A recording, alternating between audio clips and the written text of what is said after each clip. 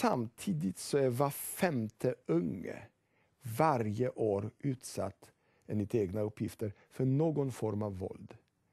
Framförallt i skolsituationen. Lejonparten av detta anmäls inte till polisen. Men våldet bland unga människor är omfattande. Och även om det inte ökar och kanske till och med, om man vill vara väldigt välvillig, så minskar lite. Så är det så att vi har fortfarande ett mycket allvarligt problem när det gäller utsatthet för ungdomar. Alltså att ungdomar utsätter ungdomar för våld. Och det kan man se också här. Nej, det kan man inte. Men eh, det är, det är både när det gäller de som säger att de har utsatt andra för våld och de som har blivit utsatta för våld. I bägge fallen är det alltså så att våldet är mycket mer omfattande än man vanligen tror. Kort sammanfattning på två minuter. Nej, det finns mycket lite som talar för att vi har blivit våldsammare. Både utifrån långt historiskt perspektiv och kort historiskt perspektiv. Om det är något man kan säga om våldet, det är det snarare minskar än ökar. Samtidigt som omfattning av våldet i vårt samhälle och i synnerhet omfattning av våldet mot unga män och då i synnerhet i skolmiljön. Men också omfattning av utsatthet av, av, av, utsatthet av unga kvinnor, i, i, eh, framförallt alltså ensamstående mödrar med små barn. Den omfattningen av våldet är ett, mycket större än vi tror. Eller vi brukar så att säga tro. Och det andra, mycket allvarligt samhällsproblem. Som det finns mycket goda skäl att vidta många åtgärder mot. Slut.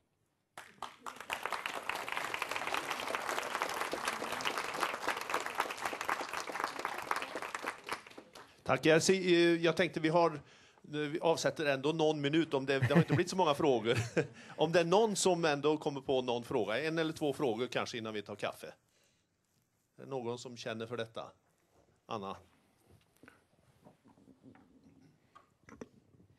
Vad säger du om de där unga ensamstående mödrarna? Vad är, vad är det runt dem som gör att de är så i riskzon? Ja, det borde vi veta mycket mer om än vi vet. Men eh, det är alltså deras sociala situation. Eh, där rätt ofta handlar det om en partner eller före detta partner som är våldsam. Därav ensamma.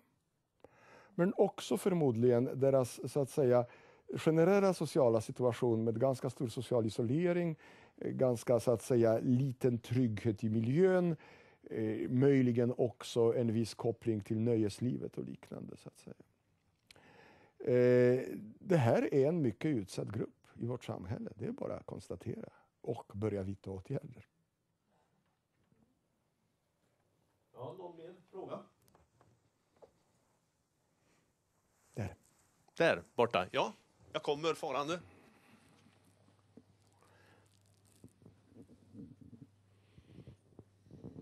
Eh, ja, vi saknar... Eh, vi, jag tycker att din statistik har visat att här finns en grupp som vi ännu inte har pejling på riktigt och det är det sexuella våldet. Och jag ifrågasätter att det nås med dina metoder som du har räknat upp nu och jag vet hur svårt det är att få kvinnor att berätta och jag vet ju, jag har ju också sett siffror på hur många söker överhuvudtaget. Men vill du säga någonting om detta och hur man ska komma åt att visa siffror på det mm. sexuella våldet? Ja, det... är på tre minuter. Jag ska försöka göra väldigt våldsamt och brutalt, brutal sammanfattning. Jag pratade inte om det sexuella våldet därför att det fick helt enkelt inte utrymme.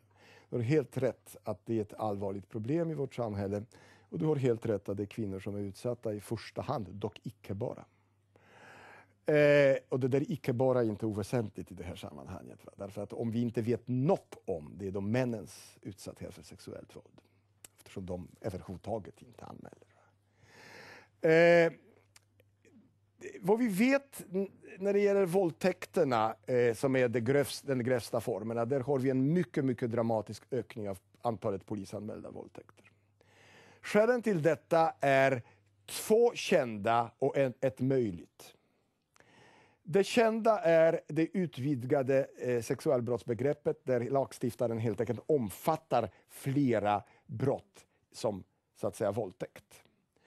Eh, I motsvarande grad minskar, alltså i viss grad minskar alltså det sexuellt utnyttjande annat.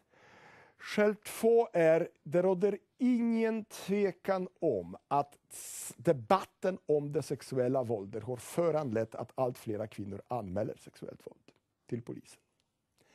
På samma sätt som vi anmäler flera fall av annat våld, vilket, är alltså, vilket vi gör därför att det också det accepteras allt mindre, så också när det gäller det sexuella våldet så anmäls det flera fall. Det ser vi bland annat, där, bland annat genom att de fall som anmäls, där ökningen är störst, det, det är grovheten i brottet minst. Att säga, va?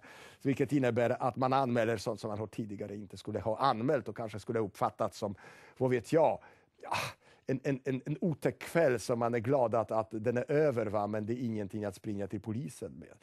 Sånt, numera anmäls det mera sånt. Sen är det fråga om vi har också att göra med en faktisk ökning av våldtäkter. Det vet vi inte. Men jag skulle inte utesluta att så är fallet.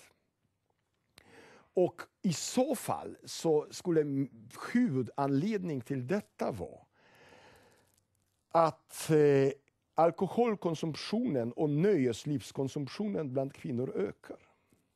Och på samma sätt, jag sa tidigare, och det var kanske lite slarvigt, jag sa att ja, ja, kvinnor börjar supa mera, gör ingenting för våldsstatistiken. Tja, inte för förövarstatistiken. Men hur är det med utsatthetsstatistiken?